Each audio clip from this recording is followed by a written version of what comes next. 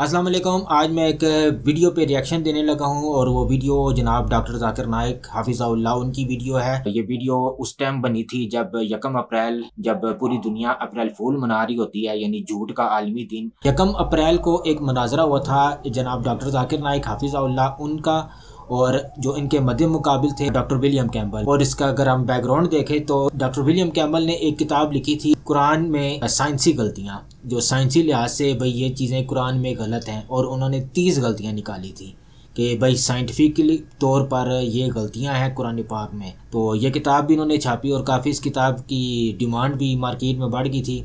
और कोई भी इसका जवाब देने के लिए कोई सामने नहीं आया तो जनाब डॉक्टर जाकिर नाइक हाफिज़ल्ला अल्लाह ताला ने मुंतखब किया। ताकि उसका जाके जवाब दें। फिर इनके माबैन एक मनाजरा तय हुआ था, जिसका उनवान था Quran and Bible in the light of science, यानी कुरान और बाइबल जदीद साइंस की रोशनी में। डॉक्टर जाकिर नाइक के जो अक्सर आमतौर पर जितने भी होते हैं, अक्सर का जितने भी होते हैं, जो उनके लेक्चर्स होते हैं तो आखिर में क्वेश्चन एंड आंसर का सेशन एक होता है, यानी सवाल जो आपकी खुली नशस्त होती है, जिसमें कोई दुनिया के किसी भी मज़हब का आदमी वो डॉक्टर जाकिर नाइक से सवाल कर सकता है अपने मज़हब के मतलब या इस्लाम के मतलब या किसी भी मज़हब के मतलब और जो एथियस्ट होते हैं यानी जिनका कोई मज़हब ही नहीं होता तो वो भी उनसे सवाल कर सकते हैं कि अल्लाह है या नहीं। यानी इसके आपको काफ़ी यूट्यूब पर वीडियोस मिल जाएँगी कि doctor Zakir Naik versus atheist इस तरह इस, इस नाम से आप सर्च करें तो आपको मिल जाएँगी। डॉक्टर विलियम कैमल ने तो तीस साइंसी गलतियाँ निकाली हुई थी।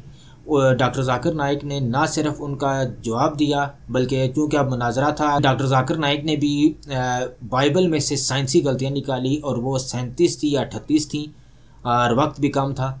सैंतीस या अट्ठतीस गलतियाँ बाइबल में से डॉक्टर जाकिर नाइक ने निकाली, और आप ये मनाजरा देख सकते हैं doctor Zakir Naik versus doctor William Campbell आप ये सर्च करेंगे यूट्यूब पर तो आपको मिल जाएगा।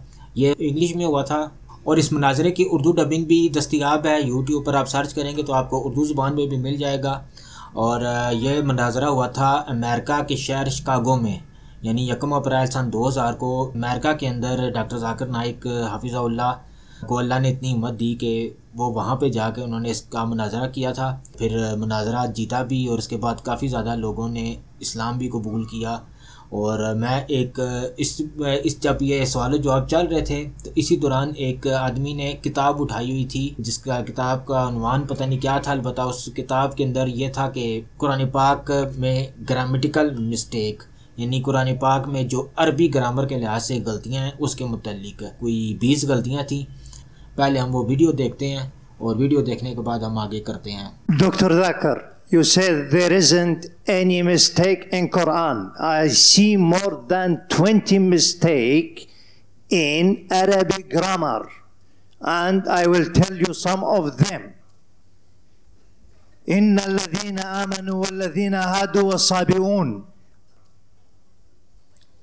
He said in Baqarah and Hajj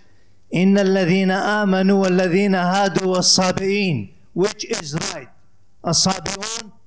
or as-sabi'in. Number one.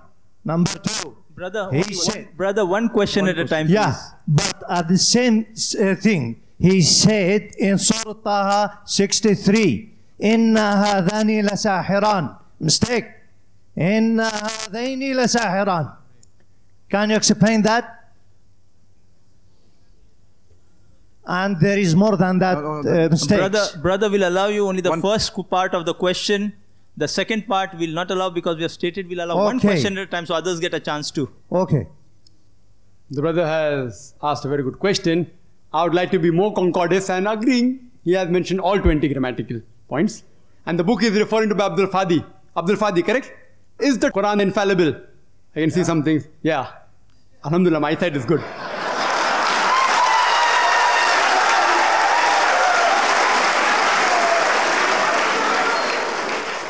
Will answer all 20 together. Because I've read the book. I'll answer all 20, inshallah. Inshallah. Point number one, brother. Point number one. Point number one to be noted that all Arabic grammar is taken from the Quran. Quran was the highest Arabic book, a book which has the maximum level of highest literature. All the Arabic grammar has been derived from the Quran.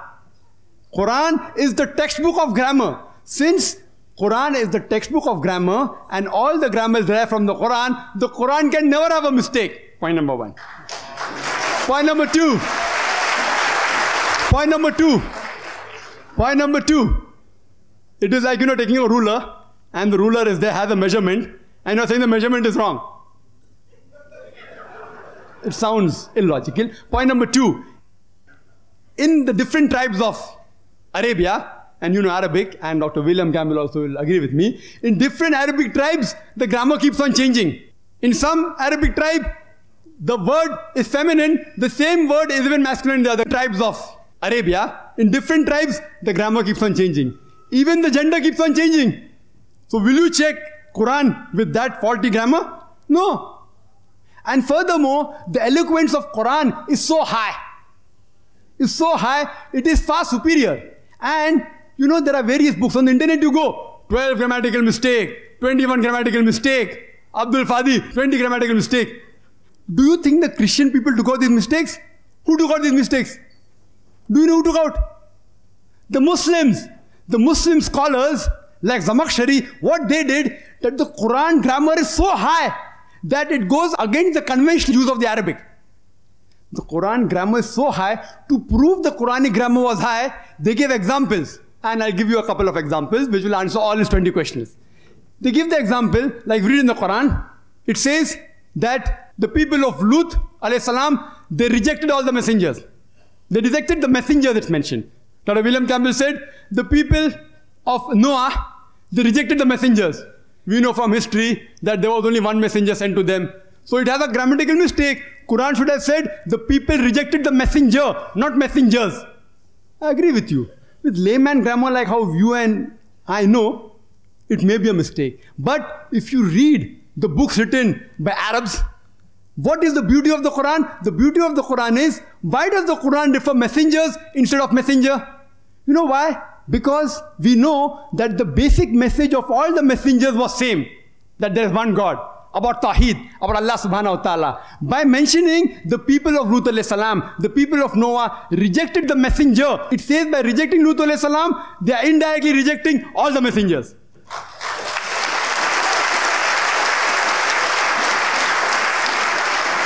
See the beauty, see the eloquence, alhamdulillah. You may think it's a mistake. It's not a mistake. Similarly, people like Anuj Suraj says that Quran says kun fayakun, be and it is. It should be kun fakana, be and it was.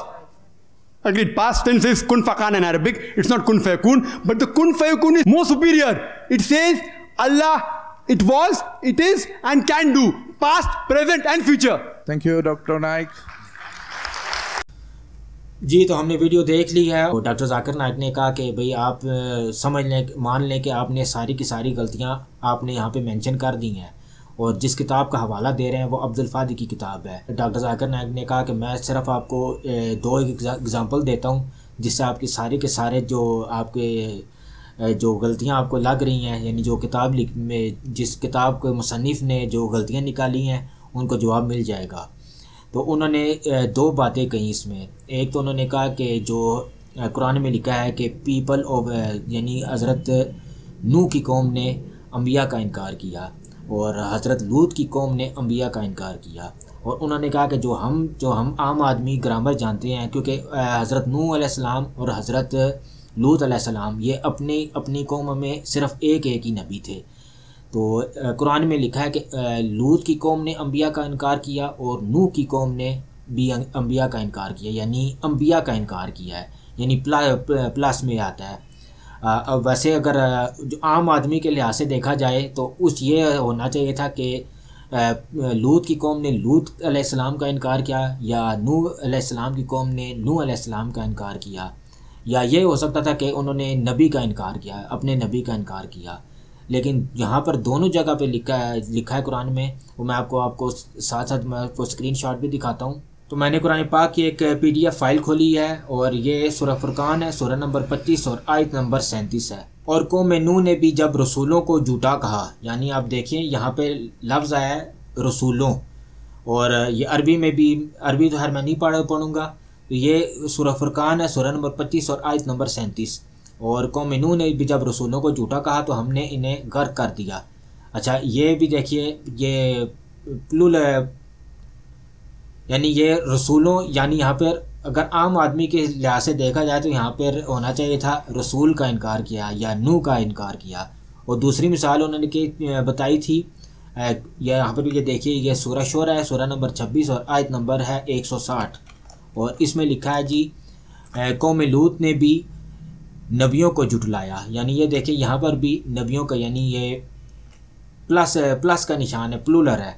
यानी नब कौम लूत ने, लूत का इनकार किया, होना ये चाहिए था आम आदमी की, जो हम समझते हैं ना, हम जो अरबी समझते हैं ना, उस लिहाज से होना चाहिए था कि लूत के, लूत सलाम की कौम ने हज़रत लूत का इनकार किया, इसी तरह नू सलाम की कौम ने नू का इनकार किया।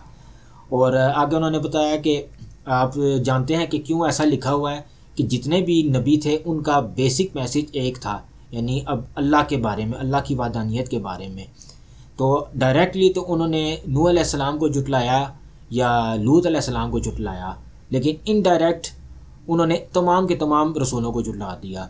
यानी हम मुस्लिम हैं और हम तमाम के तमाम अम्बिया पर ईमान रखते हैं और ये हमारे ईमान का हिस्सा है। और अगर मैं यहाँ पर आपको एक और दिखाऊँ, ये सुरह बकरा है सूर्य बकरा की आयत नंबर है जी 177 और इसमें लिखा है, सारी अच्छाई मशरक़ और मगरब की तरफ़ मुँह करने में ही नहीं है, बल्कि हकीकता अच्छा शख्स वो है जो अल्लाह पर ईमान लाए, क़्यामत के दिन पर ईमान लाए, फरिश्तों पर किताबुल्ला और नबियों पर ईमान रखने वाला हो। तो यह आपने बचपन में पढ़ा होगा, ईमान मफसल और ईमान मुजमल उसमें भी यही था मंद बिल्ला व मलाइकाती व कतुबी और रसुल ही तो ये देखिए, ये अगर हम मुस्लिम हैं और हम कहते हैं कि हज़रत ईसा सलाम का हम इनकार कर दें कि भाई वो हमारे नबी नहीं है तो हम मुस्लिम नहीं रह सकते। क्योंकि इस्लाम, ये जो रसूलुल्लाह सल्लल्लाहु अलैहि वसल्लम हैं, ये इस्लाम के आखिरी नबी थे। इनके बाद अब नबूत का दरवाज़ा हमेशा के लिए बंद हो गया ताकि आमद। अब कोई और नबी नहीं आएगा। और जो कोई कहता है कि इसके पास कोई वही आती है तो उसको एक किसी दिमागी डॉक्टर की ज़रूरत है। तो ये हम, हर नबी के ऊपर ईमान रखना और जितनी अल्लाह ने किताबें नाजिल की हैं, उन पर ईमान रखना, फ़रिश्तों पर ईमान रखना, तकदीर पर ईमान रखना और क़्यामत के दिन पर ईमान रखना, ये हमारे ईमान का लाजमी हिस्सा है।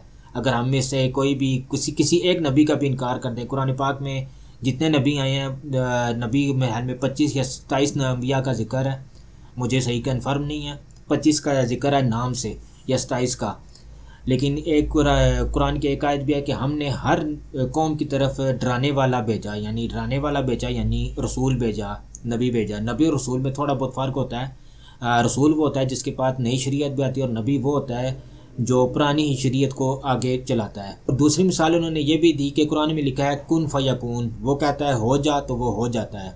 और अगर हम ग्रामर के लिहाज से देखें, क्योंकि तो उसमें होना चाहिए था, कन फ़काना यानी उसने कहा और वो हो गया। यानी हो गया, यानी जो होता था पास्ट का सीखिया यानी माजी का जो सीखिया वो इस्तेमाल होना चाहिए था। लेकिन कन फ़यकून, इसका मतलब यह है कि अल्लाह ने जो पहले इस पूरी कायनात को तख्लीक किया, वो भी इसका अमर कन था। और जो अभी चल रहा है, हमारे पास जितना भी, हमारे पास पानी आ रहा है, ये फ़सल आ रहा है फ़सलें हैं, जितनी भी है, जो कुछ भी है, ये सारा अल्लाह का, अल्लाह की रहमत ही है, ये भी अमर कन ही है। यानी अल्लाह चाहता है तो ज़मीन से खेती उगा देता है। अगर वो ना चाहे तो नहीं उग सकती। और जो आगे मुस्तबिल में होगा, तब भी अल्लाह ही की मर्ज़ी होगी। यानी जब क़्यामत कायम होगी तो अल्लाह कहेगा, कन तो फिर यह क़्यामत भी कायम हो जाएगी। फिर इसराफील सूर फोंकेंगे। यानी जो कन फ़याकून है, उसका मतलब है कि अल्लाह ने पहले भी किया, अब भी कर रहा है और आगे भी करेगा।